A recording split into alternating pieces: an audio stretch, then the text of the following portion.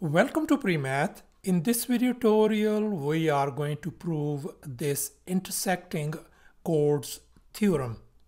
If two chords AD and BC intersect each other at a point P, then the line segment AP times the line segment PD equal to the line segment BP times the line segment PC.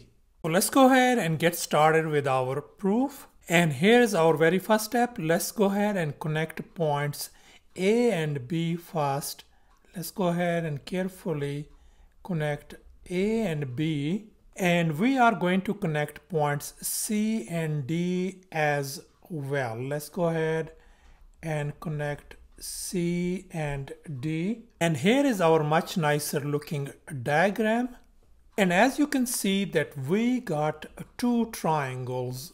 One is APB and the other one is triangle CPD. And here is our action plan. We are going to show that these triangles APB and the other triangle CPD are similar triangles. And here's the beginning of our formal proof. Let's focus on these angles APB, this one, and the angle, the other angle is CPD. They are vertical angles. And here's the vertical angles theorem. Vertical angles are pair of opposite angles formed when two lines intersect as you can see over here. Vertical angles are always equal to each other. Over here this vertical angle 2 and vertical angle 4 they are equal. And the vertical angle this 1 and the vertical angle 3 they are equal as well. So therefore according to vertical angle theorem these two angles APB and CPD are congruent and by the way congruent means same in shape and size. And here's our next step. Let's focus on this angle BAD, this angle BAD, this is an inscribed angle that intercepts the arc, we can see arc BD.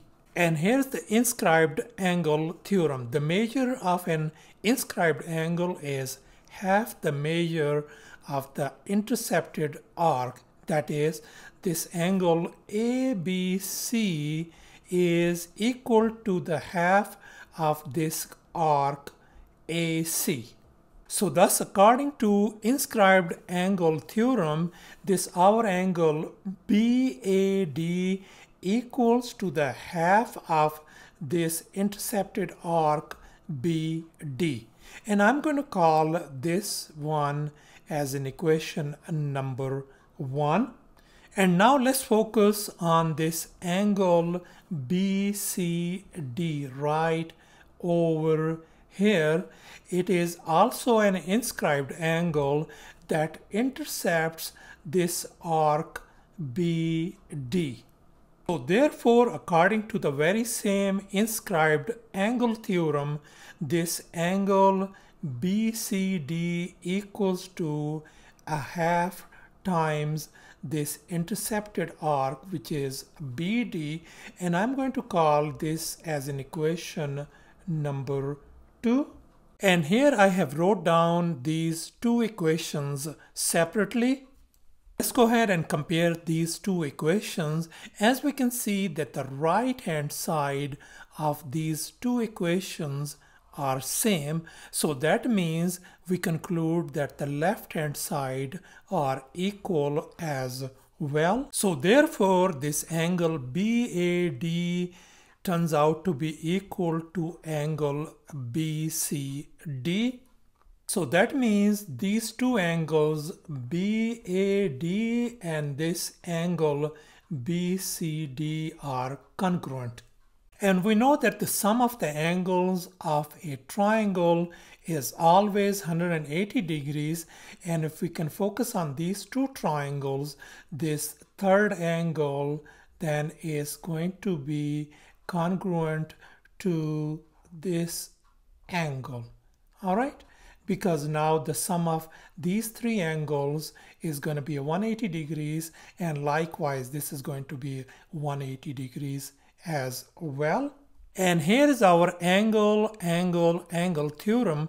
If in two triangles corresponding angles are equal, then these triangles are said to be similar.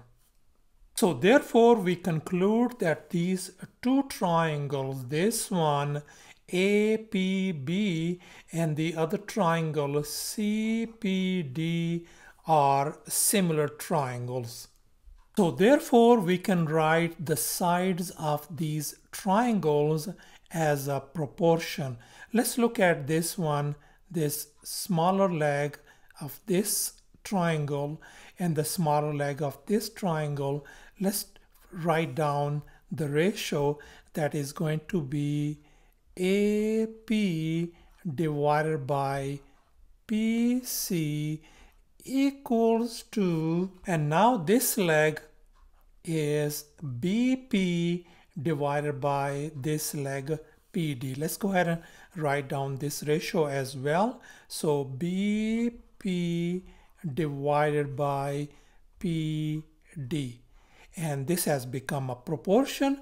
Let's go ahead and cross multiply to remove these fractions. So we are going to get A P times PD equals to BP times PC.